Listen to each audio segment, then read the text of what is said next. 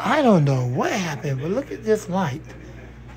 It's busted. If you look right here, you can see that it's busted.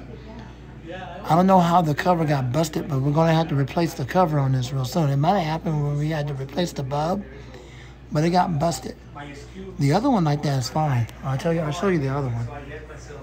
The other one is fine. There you go. There's the other one. It has two bulbs in there.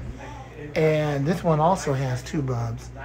But that might have happened when we had to replace the bulb. All right, anyways, thanks for watching. These are fluorescent lights, Jordan. They're not LEDs, they're fluorescent lights. Lemont the Fan Man, and out.